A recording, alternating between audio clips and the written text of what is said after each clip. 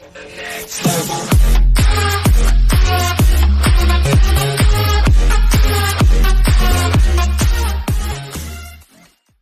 Fantastic Four movie in development at Marvel is going back to the Studios chief Kevin Feige announced that a new movie based on the superhero group is in the works at San Diego on Saturday.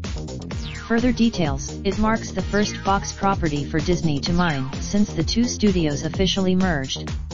The most recent movie, The Fantastic Four also appeared in a separate film series starting in 2005, starring Ioan Gruffudd, Jessica Alba, Chris Evans and Michael Chiklis. The Fantastic Four is a superhero team consisting of Mr. Fantastic Reed Richards, who can contort and stretch his body in extraordinary ways. The Invisible Woman, Fantastic Four wasn't the only reboot announced at Feige also re- sign up for for the latest news.